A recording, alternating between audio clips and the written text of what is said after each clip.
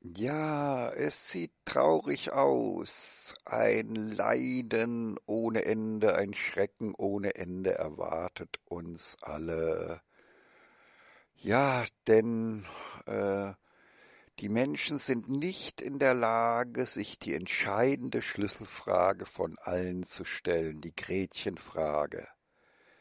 Bin ich denn wirklich frei von den Massenmanipulationen unseres gesamten weltweiten Wirtschafts- und Gesellschaftssystems? Bin ich wirklich frei von den Massenmanipulationen, die wir bei den Next Scientists for Future.de vorteilbringende Irrtümer, parasitäre Meme, Killer, Viren des Geistes nennen? Bin ich wirklich frei davon? Ist mein Wissen überhaupt Wissen? Oder bin ich nur durchmanipuliert und wiederhole wie eine Schallplatte eigentlich nur Manipulationen, also vorteilbringende Irrtümer von irgendjemandem, der auf meine Kosten damit ein Geschäft macht? Das sind die Schlüsselfragen, ja? Und die können sich die Leute offensichtlich nicht stellen und die muss ich, glaube ich, immer allen stellen. Denn alle treten immer so auf, als hätten sie gesichertes Wissen. Aber das, was sie als gesichertes Wissen äh, äh, äh, benennen, stellt sich äh, heraus, als dass es sich um die manipulativen, vorteilbringenden Irrtümer irgendwelcher Sparten der Gesellschaft handelt, um irgendwelche parasitären Meme oder Killerviren des Geistes, äh, mit denen irgendwelche Leute Profite auf Kosten anderer Menschen machen. Der Grund ist, dass man nicht versteht, dass, äh, dass unser Wirtschaftssystem den Weg hat, uns alle in Kaufsklaven, Konsumsklaven, also Konsumsklaven, Arbeitssklaven und Kriegssklaven zu verwandeln, indem sie einfach quasi jede Sparte der Gesellschaft braucht einfach nur mal irgendeinen Irrtum zu haben im Kopf. Und wenn dieser Irrtum sich zufällig so erweist, dass er andere Menschen quasi dazu manipuliert, dass man selber Vorteile davon hat, dann wird dieser Irrtum einfach überall weiter transportiert, weitergegeben und breitet sich wahnsinnig schnell aus. Übrigens hier unten rechts an dem rundlichen Ding bitte äh, die Wunschgeschwindigkeit einstellen. Bitte alles immer grundsätzlich in Wunschgeschwindigkeit hören. Das bedeutet viel mehr Freude an allem. Ne? Ja, und weil die Menschen das nicht schaffen, die sich zu fragen, bin ich, ist denn das, was ich für wissend halte, in Wirklichkeit nur Manipulation, nur vorteilbringende Irrtümer, parasitäre Meme, Killer, Viren des Geistes? Dass sie das sich nicht stellen können, diese Schlüsselfrage, das führt dazu, dass wir eben dieses Leiden ohne Ende weiterhin be bekommen können, dieses Schre dieser Schrecken ohne Ende erwartet uns alle. Alle falschen Wege werden gegangen, der einzige richtige nicht verstanden. Nämlich der, dass man verstehen muss, dass die ganze Menschheit, die alle Sparten der Gesellschaft, alle Konzerne, alle Firmen, alle Berufstätigen evoluieren seit 400.000 Jahren vorteilbringende Irrtümer. Also es entstehen einfach per Zufall Irrtümer, wie Mutationen aller anderen, auch genetische Mutationen per Zufall entstehen. Und dann greift die Selektion an, nämlich dass bestimmte Irrtümer sich als extrem vorteilbringend für eine Sparte erweisen, deswegen gerne dann weil man irgendwo spürt, dass man als Bioroboter damit an mehr Futter rankommt, an mehr hochqualitative Eizellen oder Samenzellen herankommt, an gute Gene herankommt, dadurch dann gute äh, Chancen hat, äh, auch in der Zukunft noch in Form von Aussackungen in die Zukunft hinein, die wir Kinder nennen, äh, noch präsent zu sein in der Zukunft. Und darauf sind wir Bioroboter einfach programmiert, dass es uns nicht so wichtig ist, wirklich immer total zu hinterfragen, ob eine Sache eine Wahrheit ist oder ein Irrtum ist, sondern wenn ein Irrtum sich als vorteilhaft erweist, wird diese Frage nach der Wahrheit einfach von uns etwas weniger gestellt. Und dann verbreitet sich dieser vorteilbringende Irrtum, die Sparte macht große Profite auf Kosten aller anderen Menschen und äh, wird aber das auch das Opfer aller anderen Sparten, so dass alle sich gegenseitig kaputt schaden. Und in dieser Welt leben wir gerade. Wir schaden uns alle gegenseitig kaputt. Und deswegen heißt ja die Lösung, dass man starke positive Anreize setzen muss, dass also dieses vorteilbringende Irrtümer und die daraus entwickelten schädlichen Handlungen keine Profite mehr bringen. Wir müssen also die, den, den Sparten die Beute wegnehmen sozusagen und müssen positive Anreize setzen, müssen also Belohnungen nur noch dafür aussetzen, wenn jede Sparte nachweislich Gesundheit, Langlebigkeit und Wohlfühlen der, der Kunden, Mitarbeiter und Anwohner bewiesenermaßen verbessert hat. Ja? Und dann verschwindet der ganze Spuk mit diesen vorteilbringenden Irrtümern, diese ganze weltweite Massenmanipulation verschwindet. Aber bis dahin muss ich wohl jedem die Frage stellen, also auch Ihnen, liebe Zuhörer. Alles das, was Sie für Ihr Wissen über die Welt halten, woher nehmen Sie die Sicherheit, dass es sich dabei nicht ausschließlich um Manipulationen handelt, die Ihnen und allen anderen Menschen schaden, dass es sich dabei nicht um vorteilbringende Irrtümer, äh, parasitäre Meme oder Killerviren des Geistes handelt, ja? Äh, vielleicht muss jede Diskussion eine äh, VIAT sein, eine vorteilbringende Irrtümer-Abbautherapie, ja? Also, welche Glaubenssätze haben Sie über die Welt? Und haben Sie sich gefragt, ob Sie da nicht Opfer von Manipulationen durch vorteilbringende Irrtümer, parasitäre Meme, Killerviren des Geistes, kurz gesagt vorteilbringende Irrtümer geworden sind? Ja? Und da die Leute sich diese Frage nicht gründlich genug stellen, behalten sie ihr aus Manipulationen, aus vorteilbringenden Irrtümern bestehendes falsches Weltbild bei und gehen deswegen alle falschen Wege und der einzige richtige wird nicht verstanden, nämlich positive Anreize, starke positive Anreize ganz gezielt zu setzen, um schlechtes Handeln und vorteilbringende Irrtümer sofort aussterben zu lassen, schnellstmöglich aussterben zu lassen. Ich lese mal einiges vor. Ich habe viele Videos wieder durchgezeppt sozusagen. Und ja, letztendlich, ein Video zeigte auf, das wohl auch wieder von dem Sender News und Talks für, dem besten Fernsehsender News und Talks für, äh, in seine Playlist 6 aufgenommen worden ist. Ich habe es nicht nachgeprüft, aber es wird wohl hoffentlich stimmen, die Nachricht. Nämlich, dass legale Politikerbestechung gibt. Ja, also man, man kann also sozusagen, äh, es gibt es gibt äh, Spenden an Abgeordnete sind möglich, an Parteien. Es, es sind alle möglichen Formen. Man kann jede äh, äh Spende, jede Großspende aufsplittern in viele Kleinspenden und schon ist alles legal, ist jede Form der Bestechung legal.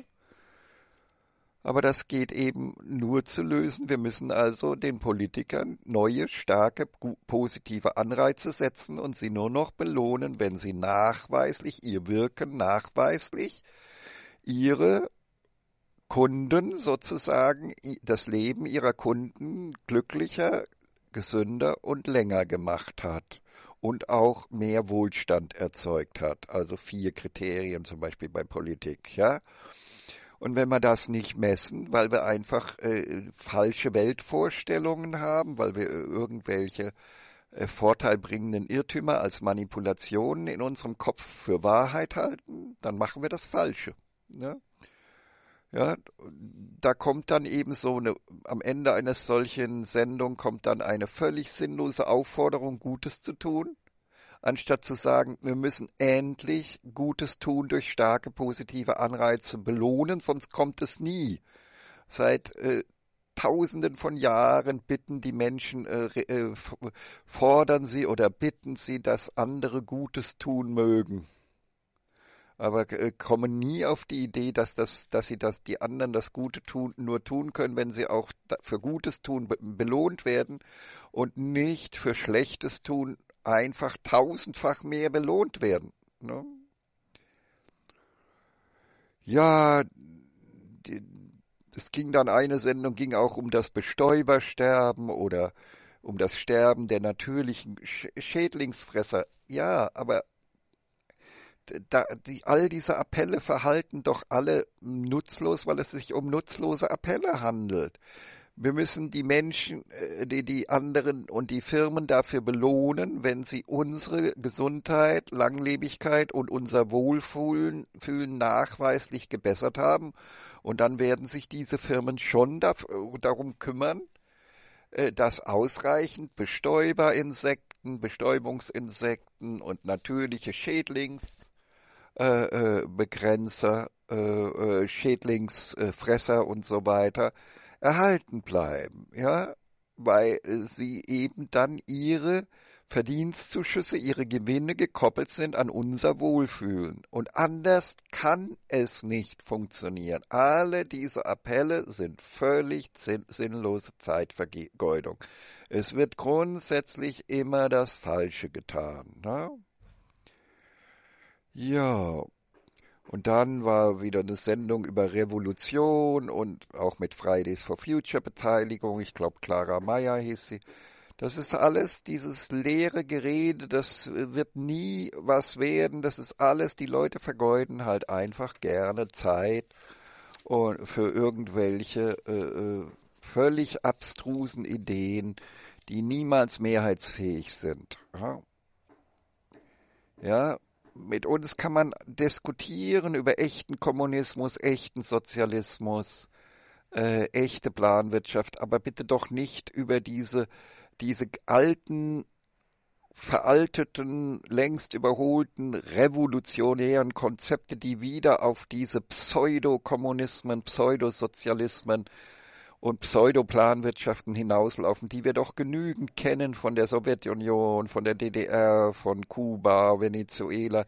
All diese gescheiterten Konzepte müssen wir doch endlich als bodenständige Linke endlich aufgeben. Ne? Ja, und das Schlimme ist also auch wieder Sendungen über die Grünen, die Grünen als die neuen Kapitalismushörigen sozusagen. Äh, äh, ja, das ist äh, das ist ein Trauerspiel, wie eine gesellschaftskritische und wirtschaftskritische Partei quasi zu den Genossen der Bosse geworden ist, ohne zu hinterfragen, äh, ob die Bosse überhaupt auch nur glücklich werden durch dieses ganze kranke Wirtschaftssystem, das die Bosse dazu zwingt, Profite zu machen auf, Kost, auf unsere Kosten, auf die Kosten unserer Gesundheit, unserer Langlebigkeit und, und unseres Wohlfühlens. Ja, ja und dann diese äh, im Moment das große Geschäftsmodell der Medizin äh, bedeutet, alle Menschen, nicht nur die, ja, die, die, die Kranken sind eine viel zu kleine Zahl.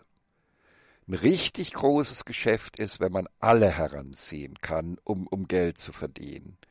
Und dieses Prinzip, alle müssen in den Dienst der Medizinindustrie gestellt werden und dort Profite bringen, wegen der Schwachen. Das ist ein optimales Geschäftsmodell, ja? Und denn man könnte doch auch einfach sagen hier, warum hat man nicht einfach anstatt überall. Man hat doch auch innerhalb kürzester Zeit Massenproduktion von Beatmungsgeräten gemacht. Warum hat man nicht einfach sozusagen, ich sehe immer die Leute, die mit Beatmungsschläuchen in der Nase rumlaufen und so weiter. Man braucht doch diesen Leuten einfach nur eine Art optisch besser gestaltete Tauch, Tauchermaske aufsetzen, äh, die das ganze Gesicht schützt oder gar einen ganzen At Atemhelm aufsetzen. Dann können diese Leute völlig geschützt überall einkaufen und die, die schutzbedürftig sind, können mit so einem kleinen Wegelchen vor sich her im Supermarkt einkaufen, können sich danach selber die Hände desinfizieren und die Griffe ihres Wegelchens desinfizieren und dann sind sie äh, doch bestmöglich geschützt. Sie können doch dann zu Hause ihre Einkäufe äh, sozusagen in, in heißem Wasser abwaschen, so dass sie dann auch dort die Viren beseitigen sozusagen und können danach nochmal ihre Hände desinfizieren.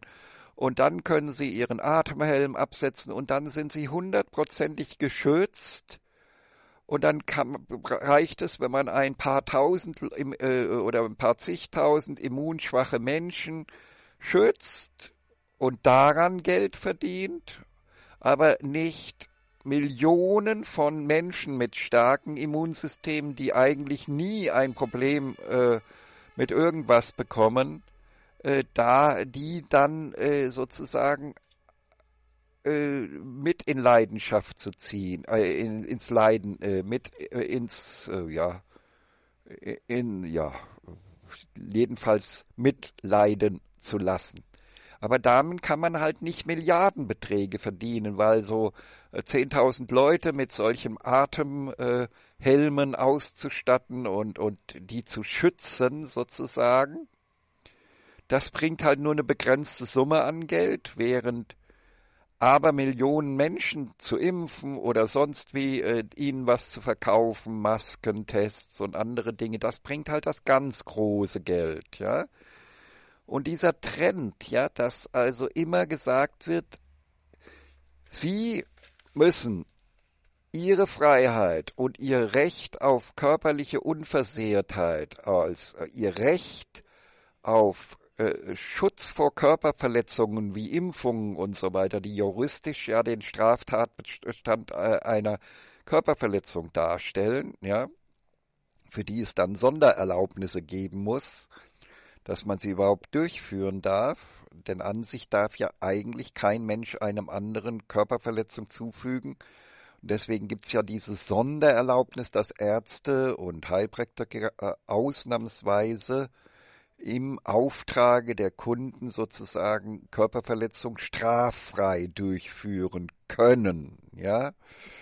Äh, aber aus dieser Regelung quasi eine zu machen, dass wir, dass quasi unser Grundrecht auf körperliche Unversehrtheit aufgehoben wird, es ist ja schon aufgehoben, weil die Eltern können nicht mehr sagen, dieses Kind, mein Kind darf nicht äh, geimpft werden, sondern äh, dann greift der Staat zu und zwingt das, impft das Kind zwangsweise. Das heißt, das Körper, das Grundrecht des Kindes, das Menschenrecht des Kindes auf körperliche Unversehrtheit ist aufgrund der Profitinteressen einer äh, gewaltigen Medizinindustrie schon längst ausgehöhlt. Und das geht immer so weiter. Das ist, das läuft schon die ganze Zeit, ja. Äh, das ist einfach alle, ja, alle Immunschwachen, ja genau, genau, das habe ich alles gerade geschildert mit dem, mit dem Wegelchen und so weiter. Äh, das ganz große Geschäft, das geht eben dadurch, dass man eben letztendlich der Weg äh, ist quasi so, denken Sie an Spenden, äh, Blutspenden. Das, da wird quasi ein Teil eines Organes gespendet, denn Blut ist ein Organ, ja. Und dann Knochenmarkspenden, da wird ein Teil eines Organs gespendet. Nierenspenden, Leberspenden, Teilspenden und so weiter. Und irgendwann endet das daran, das heißt, ja, bei uns zählt das Menschenrecht auf körperliche Unversehrtheit gar nichts mehr. Da kommt die Polizei mit der Maschinenpistole und sagt, sie müssen jetzt ihre Niere spenden und einen Teil ihrer Leber oder was auch immer, weil andere sind so schwach und da können wir auf ihr Menschenrecht auf körperliche Unversehrtheit kein Rücks keine Rücksicht mehr nehmen. Und dann verdient die Medizinindustrie Milliarden. Und die Menschen sind nicht in der Lage zu verstehen, dass wir gerade einfach diese Geschäftsausweitung der Medizinindustrie gerade vollziehen. Ja, dass wir also quasi äh, regiert werden von der Medizinsparte und die jetzt einfach ihr ganz großes Geschäft machen kann. Ne? Und alle, ja, das ist dieses Hörigkeit, nennt man das, wenn, wenn, wenn man die vorteilbringenden Irrtümer, die Werbung einer Industrie eins zu eins für Wahrheit hält, dann ist man ein naiver, höriger Mensch. Und das ist, ist die, ist, sind wir halt nun alle. Der Mensch ist nun mal das genetisch vertrauensseligste Tier der Erde. Und das ist halt so. Und das heißt, die Menschen glauben, wenn, wenn die Medizinindustrie sagt, wir nach unseren geschäftstüchtigen Interessenslagen und unseren Verdienstinteressen, die wir alle haben in der Medizinindustrie, haben jetzt viele Intensivbetten belegt, weil wir ja Ideen glauben, die sich letztendlich als geschäftstüchtig erweisen, nämlich so, von uns ja sogenannte vorteilbringende Irrtümer, nämlich äh, ja, und niemand prüft nach, ob es da nicht sozusagen in Wirklichkeit Leute, die überhaupt nicht im Intensivbett bedürftig sind, einfach dort als solche wahrgenommen werden, weil es einfach so viel Geld bringt. Das prüft kein Mensch nach. Also diesen, kein Mensch prüft, ob die Medizinindustrie Mitarbeiter nicht eventuell selber einfach nur voll sind von vorteilbringenden Irrtümern ihrer eigenen Sparte, von äh, parasitären Memenkiller-Viren des Geistes, also von einer ja, geschäftstüchtigen, brancheninternen Massenmanipulation sozusagen, aufgrund derer sie viel zu viele Intensivbetten leichtfertig belegen das prüft kein Mensch nach, sondern ist, wir leben im, äh, in einer ganz klaren Hörigkeit. Früher waren die Grünen mal kritisch, die Linken waren mal Kapitalismus kritisch und heute ist es einfach so, ja, was die Konzerne uns sagen, was die Krankenhauskonzerne uns sagen, was all die, die Mitarbeiter dieser Konzerne uns sagen. Früher hätte man gesagt, das ist Werbung, das, das stimmt wahrscheinlich alles nicht, was die uns sagen. Und heute sagt man, ja, das ist alles die absolute Wahrheit. Wir glauben jedes Wort und machen alle Entscheidungen davon abhängig, was die Werbung einer kommerziellen Sparte uns sagt. Unglaublich, ne? Alle, ja. Und wie gesagt, das Ende dieser Kette ist, wenn die Polizei mit der Maschinenpistole vor ihrer Tür steht und sagt, sie müssen jetzt eine Niere spenden, denn andere Menschen sind schwach, sie sind stark und äh, sie, wir müssen ihre Rechte werden ja, haben wir uns ja dran gewöhnt, dass die Rechte der, der Starken eingeschränkt werden äh, zugunsten des Medizingeschäfts. Ne? Und ja, und dann gab es viele Berichte wieder über sinnlose Demos, ja, diese ganzen sinnlosen Demonstrationen und all das Gezackere und Gekloppe mit den Polizisten ist doch völlig kontraproduktiv. Aber das ist, weil die Leute nicht, äh, stattdessen müssten sie doch einfach mal diskutieren, mit gegenseitig all die Demonstranten sich gegenseitig immer nur die Frage stellen. Woher glaube ich denn irgendetwas zu wissen? Kann es nicht sein, dass alles, was ich für Wissen halte, Manipulationen sind, die ich einfach für wahr halte, vorteilbringende Irrtümer, die ich für wahr halte? Müssen wir nicht endlich mal mit dem Weltrat und den Next Scientists for Future über die ganzen vorteilbringenden Irrtümer und die Massenmanipulation reden, damit wir endlich von unserem falschen Weltbild wegkommen, weswegen wir denken, dass irgendwelche Streitereien mit Polizisten irgendjemanden weiterbringen würden oder irgendeine konstruktive Lösung bringen würden? Ja, ich denke, das war's wieder mit dieser traurigen Sendung. Ich hoffe, dass diese traurige Phase bald endet, weil sich die Basis bei uns meldet oder die Parteien wieder bei uns melden und sagen, jetzt haben wir es begriffen, jetzt wir müssen jetzt endlich uns damit beschäftigen, wo, dass unser ganzes Herangehen an die Welt eventuell auf Manipulationen fußt, auf vorteilbringenden Irrtümern und äh, wir einfach nur bis jetzt unsere Manip unser Manipuliertsein für Wissen hielten, irrt irrtümlich. Ne? Und das ist, ja, und ansonsten, wie gesagt, Ceterum censio, Karthago, esse delendam. Im Übrigen meine ich, dass Karthago zerstört werden sollte. Das war der Spruch eines alten Römers, glaube ich. Äh, und ich sage Ceterum censio, die Menschheit ist nicht mehr zu retten, da ist wohl alles Hopfen und Malz verloren.